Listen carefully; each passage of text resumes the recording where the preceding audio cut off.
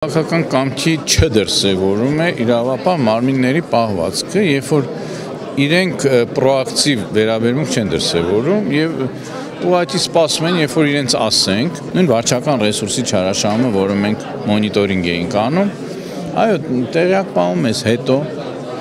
ասում են, հա, գիտեք, մենք ուսումնասիրեցինք, չի համապատասխանում իրականությանը 176 ուրեմն հաղորդում, որ ուսումնասիրել են, բարձել են համենը 3-ում ինչ որ հանցակազմ պոտենցիալ կարող է այն հայտնի չի վերջը կհասնի գործը ինչ որ քրեական հետապնդման թե ոչ այսինքն մենք ունենք մի իրավիճակ որտեղ իրավապահ համակարգը ուղակի փորձում է ավելի շուտ կոծկել այդ ամենը, քան թե վերջ տալ այդ երևույթներին։ Սա հենց քաղաքական կոռուպցիայի ամենադժբախտաբար փայլուն դրսևորումներից է։